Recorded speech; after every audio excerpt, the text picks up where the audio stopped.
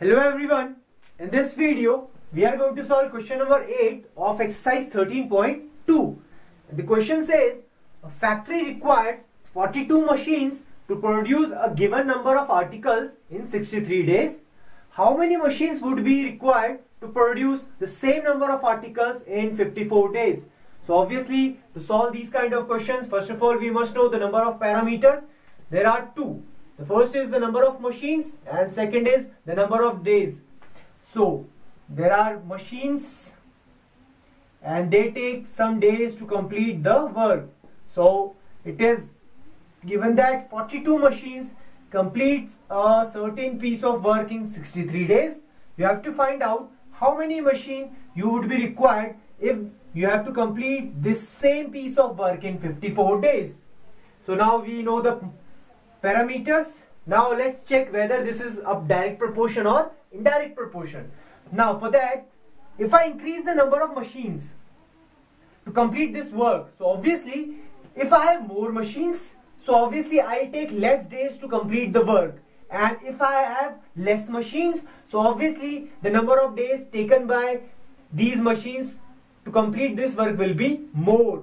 So obviously this is inverse proportion. When machines are more, the number are number of days are less. So is, this is our indirect proportion. This is the value you have to find out. So we can write this as x equals to the value above this variable can be written here. And now because this is inverse proportion you have to into. So I can into this is 63 and this is 54. Now this can be cancelled by 9, 9 6 times, 9 7 times. And after that this can be cancelled 7 times. So the value of x here will be 49 so obviously the number of days will be more which is equals to 49 days. There could be another method. Okay now it is given that 63 days are taken by 42 machines to complete this work so 63 days are taken by 42 machines.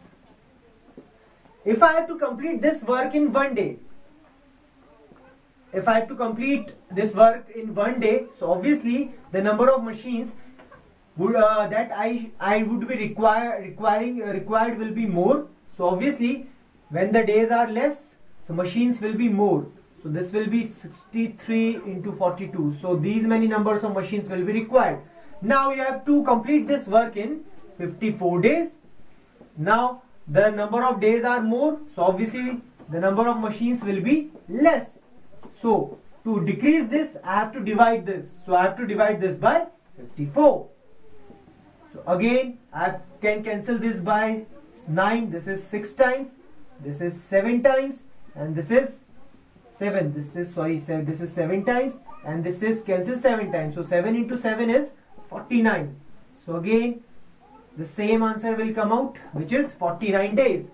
So this is how we can solve this question. If you like this video please subscribe to our channel. And if you have any problem in maths you can contact us. The email address the website and the phone number is given below in the description. Thank you